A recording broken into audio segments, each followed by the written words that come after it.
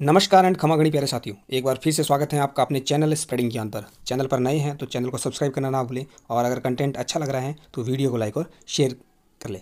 दोस्तों, हम जैसा कि पढ़ रहे हैं, राजस्थान की लोक नृत्यों के बारे में हम कंटिन्यूस पढ़ रहे हैं। तो पहले हमने जो दो क्लास हैं, उसके अंदर घूमर के बारे में पढ़ लिया था दोस्तों। फिर हमने दोस्तों पढ़ा कच्ची घोड़ी नृत्य के बारे में और उसके बाद में दोस्तों हमने अग्नि नृत्य के बारे में, इन तीन नृत्यों के बारे में पढ़ लिया है। आज की क्लास में हम और तीन प्रमुख नृत्यों के बारे में पढ़ेंगे दोस्तों। ठीक है? चलते हैं। बात करते हैं, सबसे पहला जो प्रमुख नृत्य है दोस्तों, वो है आपका ढोल नृत्य। कौन सा? ढोल नृत्य। ढोल नृत्य दोस्तों, कौन सा? जालोर का नृत्य है। कहाँ का? जालोर। जालोर के अंदर भी स्पेशली सिवाड़ा क्षेत्र का नृत्य है और भीनमाल के अंदर भी इस नृत्य को किया जाता है। यह नृत्य दोस्तों बेसिकली कब? विवाह के अवसर पर। कब दोस्तों? विवाह। विवाह के अवसर पर पुरुषों के द्वारा किया जाता है। दिख रहा है आपको, पुरुषों के द्वारा यह नृत्य किया जाता है। कौन कौन सी जातियाँ दोस्तों इस नृत्य को करती हैं? तो आपकी ढोली हो गई, भील हो गई और माली। एक और जाति दोस्तों आप याद रखिए, सरगड़ों द्वारा। कौन सी? सरगड़ों या कहीं कहीं पर सरगड़ों भी लिखा मिलता आपको मिलेगा। सरगड़ों द्वारा। ये जो जाति हैं दोस्तों, इनके द्वारा, इनके पुरुषों के द्वारा ढोल नृत्य प्रस्तुत किया जाता है। विवाह के अवसर पर किया जाता है दोस्तों। इसमें बेसिकली होता क्या है कि जो पुरुष होते हैं, मुँह में तलवार लेकर के और बड़े बड़े ढोल बजा करके इस नृत्य को करते हैं, ठीक है? और इस नृत्य के अंदर ढोल जो बजाते हैं, उसको कौन सी शैली में बजाया जाता है दोस्तों? थांकना शैली में, याद रखिएगा, ढोल जो बजाते हैं, वो कौन सी थैली में बजाते हैं? शैली में बजाते हैं तो वो थांकना या थाकना थाकना या थाकना शैली के अंदर ढोल बजाया जाता है दोस्तों, ठीक है? चलिए, इस नृत्य को प्रकाश में लाने का श्रेय किसको जाता है? तो इस नृत्य को प्रकाश में लाने का श्रेय किसको जाता है आपके? जय नारायण व्यास जी को जाता है। किसको जाता है? जय नारायण व्यास जी को दोस्तों, इस नृत्य को प्रकाश में लाने का श्रेय जाता है। जालोर का नृत्य है ढोली, भील, माली और सरगड़ा जनजाति के पुरुषों के द्वारा नृत्य किया जाता है। विवाह के अवसर पर किया जाता है। थांकना शैली में ढोल बजाया जाता है और प्रकाश में लाने का श्रेय किसको जाता है? जयनारायण व्यास जी को। अगले नृत्य के बारे में बात करते हैं तो दोस्तों घुड़ला नृत्य। इस नृत्य से काफ़ी सारे क्वेश्चन आते भी हैं। दोस्तों, इसका शॉर्ट भी मैंने बना के डाला था और क्विकली आप उसको देख सकते हैं। घुड़ला नृत्य दोस्तों, कहाँ पर? जोधपुर की महिलाओं के द्वारा। कहाँ पर? दोस्तों, जोधपुर की महिलाएँ, या आप कह सकते हैं कि मारवाड़ क्षेत्र में भी कहीं अगर क्वेश्चन में पूछ लिया जाए कि मारवाड़ क्षेत्र का भी अगर प्रमुख नृत्य कहा जाए तो घुड़ला नृत्य ही कहा जाएगा दोस्तों। कब किया जाता है? चैत्र कृष्ण अष्टमी को। चैत्र कृष्ण अष्टमी को ही दोस्तों, क्या मनाया जाता है आपका?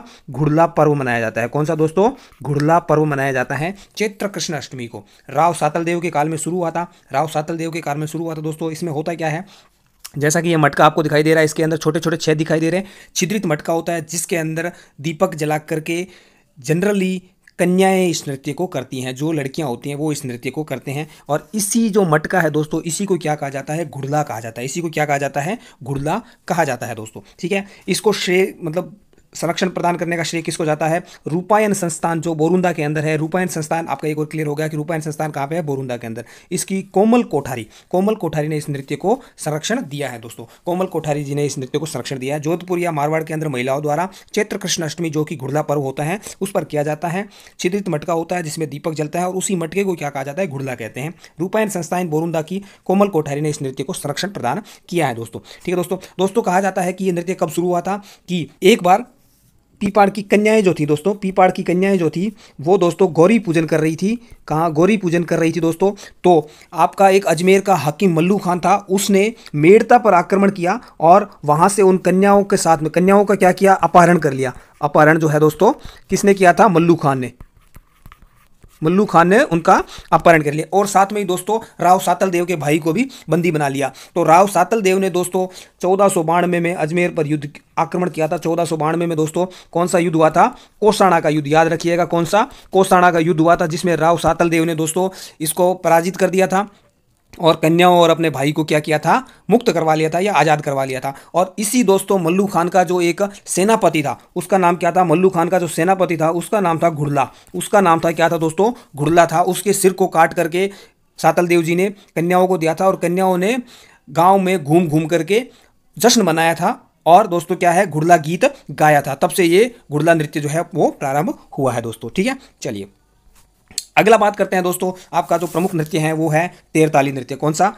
तेरह ताली नृत्य। कौन सा है दोस्तों? तेरह ताली नृत्य दोस्तों, ठीक है? कौन सी कामड़ जाति की महिलाओं के द्वारा किया जाता है? याद रखिएगा कामड़ जाति की महिलाओं के द्वारा। आज हमने जो तीन नृत्य पढ़े हैं, उसमें पहला ढोल नृत्य जो था, वो पुरुषों के द्वारा किया जाता है।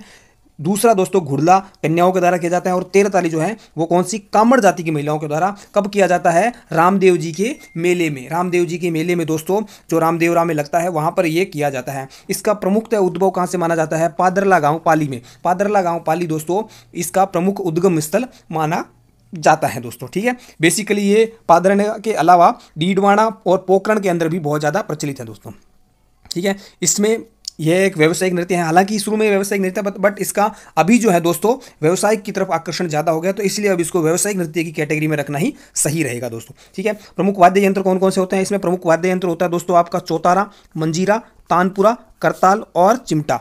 चौतारा, मंजीरा, तानपुरा, करताल और चिमटा। इसकी जो मुख्य कलाकार कौन कौन है? आपने नाम सुना होगा मांगी बाई के बारे में। मोहिनी बाई के बारे में भी आपने नाम सुना होगा। लक्ष्मण दास कामड़ ठीक है? और एक और दोस्तों कौन सा? नारायणी देवी। कौन सा? नारायणी देवी दोस्तों। इसमें बेसिकली क्या होता है ना टोटल कितने? तेरह मंजीरे। कितने दोस्तों?